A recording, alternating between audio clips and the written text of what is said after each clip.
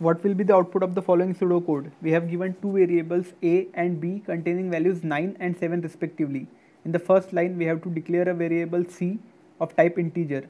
The second line, we have to set the value of c to 2. So now c contains 2. And in the third line, we have to perform b equals to b mod c.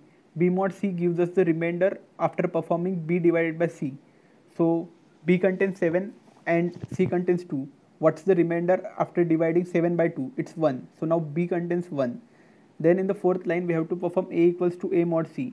A contains 9 and c contains 2 so 9 mod 2 gives us 1 then we have to perform a plus b and we have to print that value. So now a contains 1 and b contains 1 so after printing this we will get the output as 2 thank you